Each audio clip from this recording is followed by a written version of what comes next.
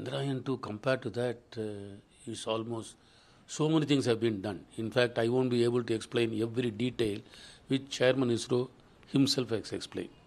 About 80% changes are there. Weight itself is higher because they included quite a few things. Then they included redundancy in the engine, in the orbiter himself, so that uh, one engine, suppose something happens, etc.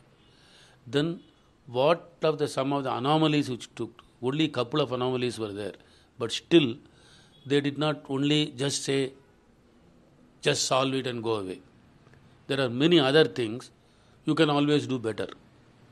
It's always there in your mind, but they could not incorporate everything. So they incorporated many of those things into the Chandrayaan 3.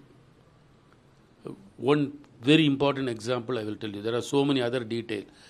Earlier it was seeing only the height when it is landing.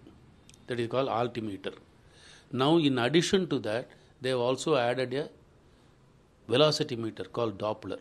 So you will know what height and also what velocity so that it can control itself because all these are done by itself autonomously but this data will come in addition they have got a, a camera down which will see then what is an advantage which they have got from the chandrayaan 2 is that it has taken a lot of pictures so they will also have the terrain it is around the same area so you know the thing before so you know are you going with that. It is a matchmaking type of thing.